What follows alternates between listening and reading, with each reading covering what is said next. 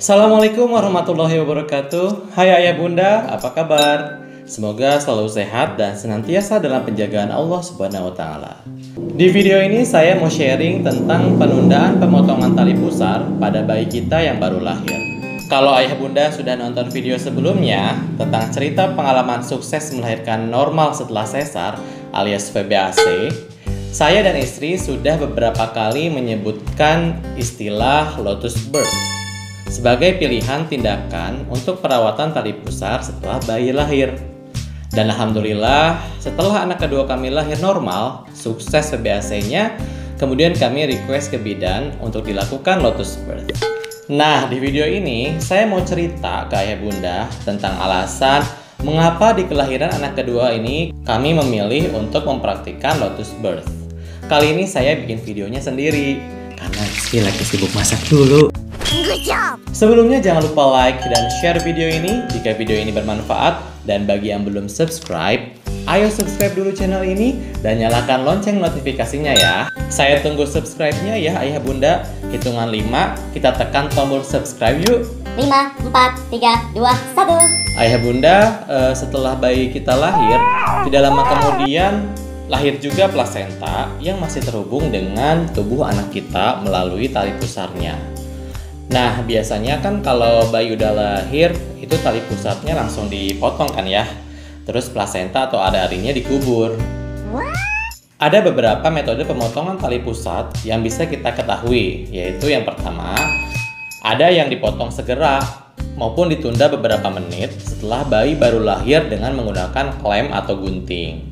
Yang kedua, ada yang ditunda beberapa menit atau beberapa jam, lalu dipotong dengan menggunakan api. Ini istilahnya disebut burning cord atau pembakaran tali pusat. Yang ketiga, ada yang tidak dipotong sama sekali ayah bunda sampai tali pusat tersebut puput atau terlepas dengan sendirinya. Yang ketiga ini kita sebut dengan istilah lotus birth.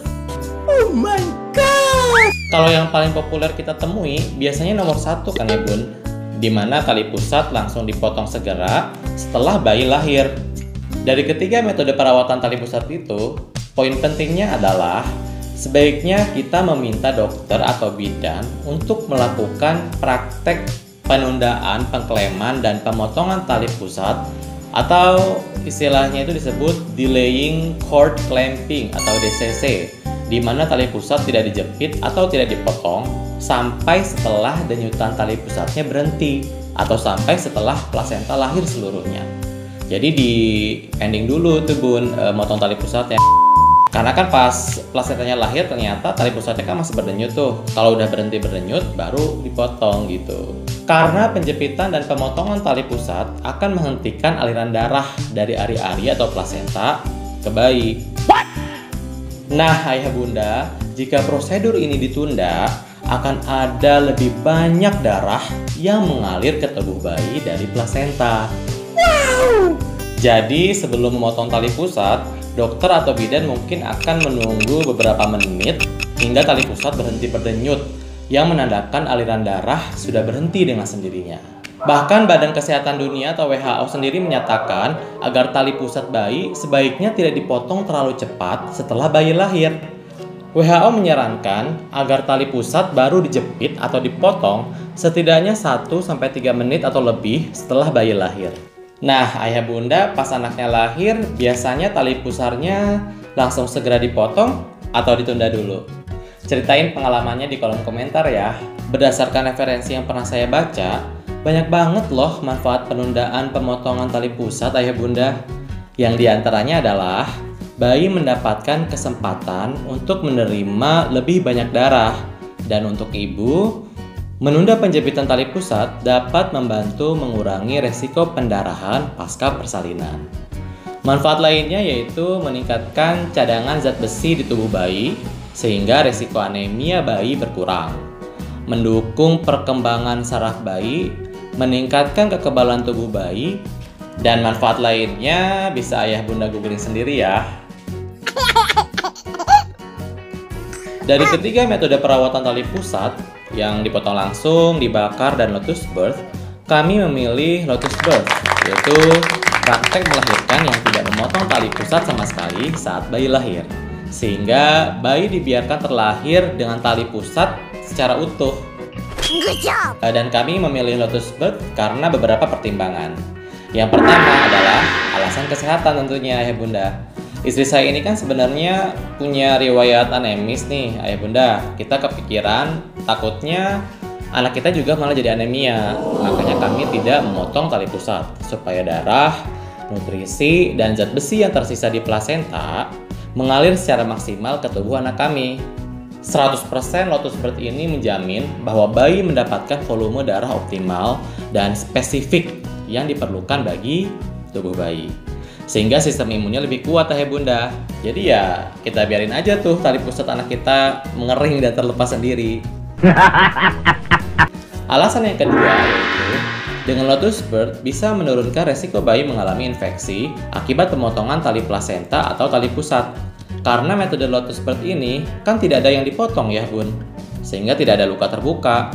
Jadi resiko infeksi juga lebih minimal. Pertimbangan yang ketiga, Bird membuat tali pusat cepat mengering ayah bunda dan cepat lepas sendiri. Biasanya kan kalau yang tali pusatnya digunting manual, 5 hari atau seminggu baru kering dan bisa lepas ya. Tapi pengalaman kami mempraktekkan Lotus Bird ini, itu tali pusat sudah kering dan lepas sendiri di hari ketiga setelah anak kita lahir. Benar-benar kering, nggak lengket, tanpa ada luka atau nanah sama sekali. Wow. Alasan yang keempat, supaya proses transisi bayi terjadi secara lembut dan damai ketika berpindah dari alam rahim ke alam dunia. Dan secara psikologi saya lihat dengan Lotus Bird ini, bayi kami waktu itu lebih tenang dan tidurnya juga lebih nyenyak kayak bunda. Kan biasanya kalau orang punya bayi baru lahir, kadang sering rewel ya, apalagi tengah malam. Kelihatan sering gelisah gitu. Nah ini benar-benar tenang banget ayah bunda. Bahkan nyedot asinya juga kelihatan lebih semangat gitu bun. Dan alasan yang terakhir, yang kelima, mengapa kami memilih praktek Lotus Bird, yaitu untuk mengurangi pengunjung supaya nggak gendong-gendong anak kita yang baru lahir. Kan kalau ada yang nengok, biasanya suka pengen gendong ya. Dan kondisi kebersihan yang jenguk kan kita nggak bisa jamin bersih apa enggak. Apalagi bayi baru lahir kan masih sensitif ya bun, khawatir kena virus atau penyakit. Sehingga yang nengok juga biasanya nanti cuman lihat-lihat aja. Karena kan masih ngerasa creepy atau ngeri kali ya bun. E, lihat plasenta atau ari-ari masih ada di sebelah anak kita. Atau biasanya juga yang jenguk akan memilih menunggu hingga plasentanya lepas. Jadi bayi dan istri kita bisa istirahat dan tenang tuh selama 3 sampai 4 hari. Untuk masa pemulihan yang lebih optimal setelah melahirkan. Nice. Habis lahiran, banyak istirahat dan nggak nerima tamu dulu selama 3 sampai 4 hari. Mood booster banget kan ayah bunda buat si ibu yang baru Wow. bersalin. Jadi habis lahiran nggak rungsingan gitu ibunya. Karena kan banyak istirahat ya, memulihkan badan. Sombong amat. Mungkin ayah bunda banyak yang bertanya, gimana sih cara mempraktekkan Lotus Birth? Ini saya kasih gambarannya ya bun. Pertama, setelah bayi lahir utuh bersama tali pusat dan plasentanya, tali pusatnya ditempatkan di wadah kayak mangkok besar gitu yang ada di klinik bidan. Apa sih itu namanya ya? Dibiarkan dulu sekitar beberapa jam. Kalau saya sekitar 3-5 jam supaya kadar air yang ada di plasenta dibiarkan mengendap atau rembes dulu untuk meminimalisir resiko bau ya ayah bunda akibat cairan dari plasenta yang tersisa itu. Kedua, plasenta dicuci secara hati-hati dengan air hangat dan ditepuk-tepuk sampai kering. Dihandukin tuh pelan-pelan biar benar-benar kering.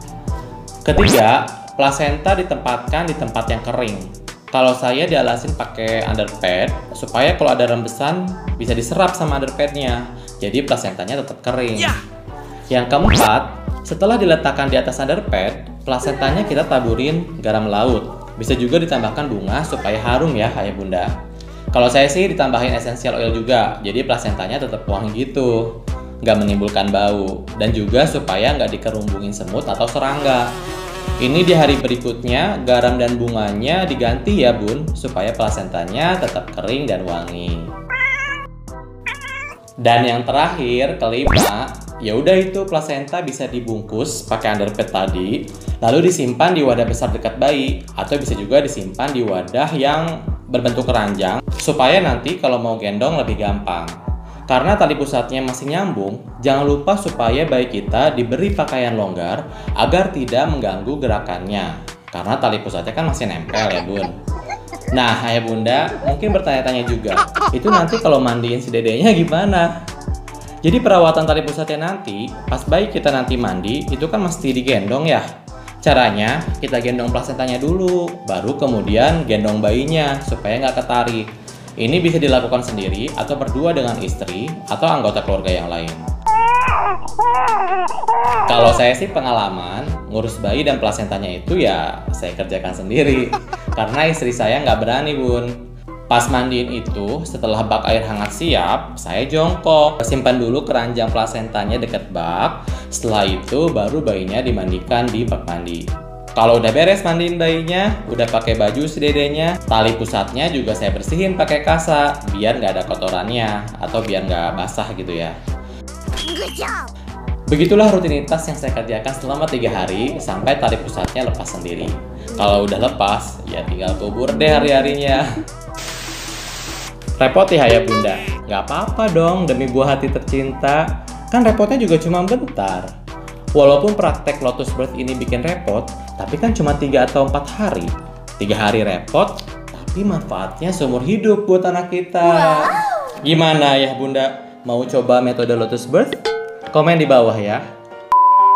Oke itu aja sharing-sharing Lotus Birth kali ini ayah bunda. Semoga ayah bunda bisa sukses bersalin normal dan bisa memberikan persembahan metode persalinan yang terbaik untuk menyambut buah hati kita. Jangan lupa subscribe, like, dan share video ini ya ya bunda Bagikan ke saudara, teman, atau grup-grup di whatsapp, telegram, media sosial, dan lain-lain Supaya semakin banyak yang mendapatkan informasi manfaat dari video ini See you in the next video. Wassalamualaikum warahmatullahi wabarakatuh.